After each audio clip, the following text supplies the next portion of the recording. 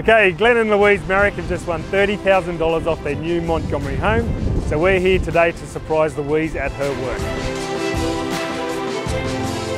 Hey Louise, how are you? We're here because you have won $30,000 off your new Montgomery home.